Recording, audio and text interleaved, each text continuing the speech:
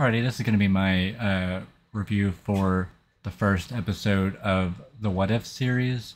It is What If Captain Carter were the first Avenger? And honestly, I gotta say, like, this is a pretty amazing introduction to like the new series.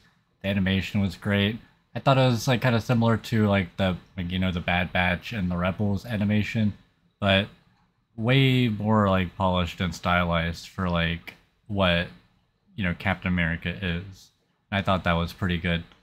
Uh, I thought that they uh, explained the concept of the What If series to the watcher pretty well. Uh, these are just like the uh, these different timelines, and the watcher is you know you know watching them, and he will not interfere. Or at least he says he won't. Um, and from what I understand, this is like actual events from the MCU.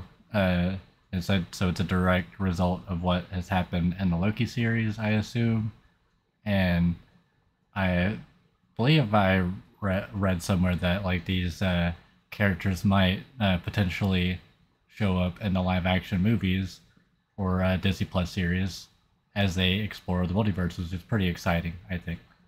Um, especially when we're getting into like, you know, a Secret Wars type thing. That'd be pretty great. And from the way I understand the changes from the first Avenger to this uh, What If episode, is that, you know, since uh, Peggy Carter was a, you know, very healthy, strong, and very skilled fighter uh, when she became a super soldier, you know, Captain Carter, she was just like, you know, that much more effective um, than Steve was, who was a frail person before co- becoming Captain America.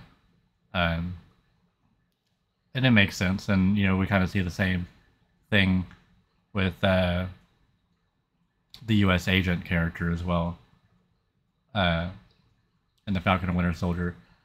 Uh, and since she was more effective, they were able to intercept the Tesseract from Hydra, and therefore the Hydra Stomper was created uh, by Howard Stark, Stark for Steve uh, because of it. And I thought all the action scenes with the uh, Hydra Stomper were pretty. Uh, there, it was a little uh, gratuitous, uh, but it was pretty great how he, he was just like smashing the tanks and stuff. But I guess if his, you know, the suit's powered by a literal Infinity Stone, he would be able to do that. Um, I thought that the uh, you know the feminist feminist messaging was also pretty good, and uh, we see how like the general at first uh, whenever uh, Peggy like had first become a super soldier, he was like, "Oh well, you're you're lucky to even be in the room," and then as she's very successful being uh, Captain Carter, and later on when they're trying to you know, form a plan to attack Hydra and save Steve. She's like, "Oh well, you're you're lucky you're even in the room to him." And I thought that was pretty. I thought that was pretty funny. Uh, and it just uh, it's it's just a critique on the whole frame of mind that the uh, military had, where like they believe that women couldn't even be effective soldiers at all, and but other than that, uh, anyway, I'm pretty excited for the next episode. I thought that um, this first episode was really good, and from what I understand, the next episode is what if Black Panther or T'Challa, I mean, became Star Lord. So that's going to be a very interesting episode. It's also going to be pretty sad because uh, as we know, this is the last uh, lines that Chadwick Boseman had recorded before he passed away, and uh, you know it's going to be kind of uh, it's going to be very sad to uh, see that it's going to be like a final farewell from him, and uh, yeah, that's uh, something to think about, I guess. Anyway, um, so far the show has been very good and uh, I'm gonna hopefully be able to continue doing videos like this.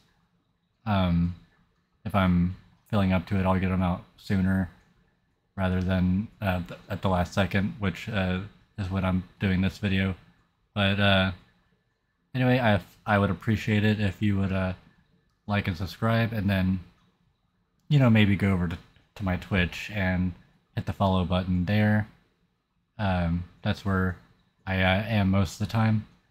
But uh, anyway, I hope um, everybody is doing well, and I hope everybody has a stellar night.